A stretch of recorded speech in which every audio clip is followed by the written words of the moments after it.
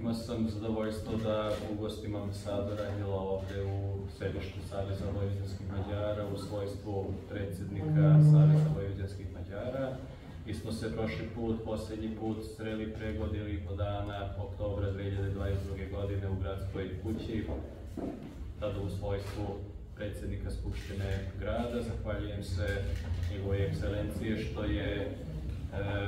iskazao interesovanje za ovaj susret i što smo mogli da razgovaramo o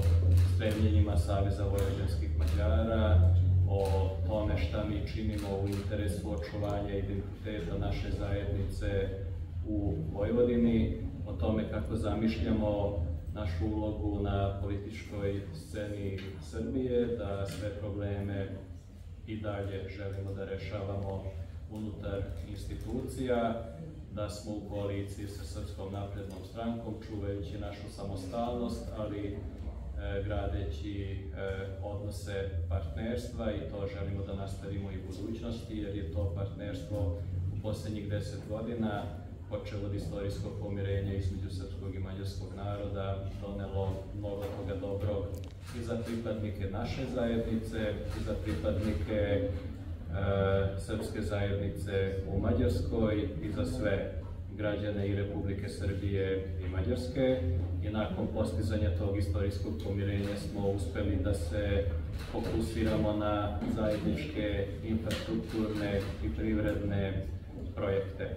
Smatram da ono što smo mi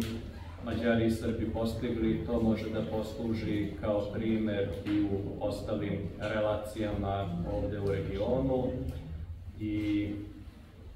što se nas tiče mi želimo i dalje da radimo na izgradnji što boljih odnose između Srbije i Mađarske, Srba i Mađara i da čuvamo samostalnost i identitet e, naše zajednice. Još jednom velika zahvalnost e, njegove ekscelenciji što je došao do ovog